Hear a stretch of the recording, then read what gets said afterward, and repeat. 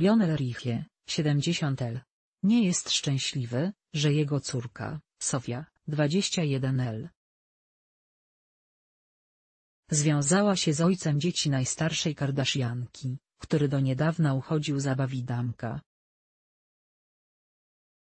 Córka gwiazdora i Disick są parą od ponad roku. Reklama Sofia Richie zgodziła się na związek z byłym partnerem Kourtney Kardashian pomimo iż wiedziała, że nie był on wierny matce swoich dzieci. Co ciekawe, Kardashianka polubiła nową partnerkę swojego byłego i nawet się z nią zaprzyjaźniła. Zupełnie inne zdanie na temat związku Richie i Disicka ma ojciec modelki, Lionel Richie, sprawdź. Początkowo próbował odwieść ją od tego, odcinając ją od pieniędzy.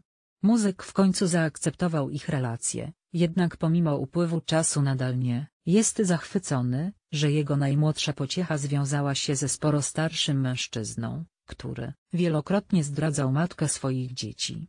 Relacja z córką jest dla niego najważniejsza, dlatego robi wszystko, by nie dać po sobie poznać, że nie przepada za jej chłopakiem, twierdzi źródła online.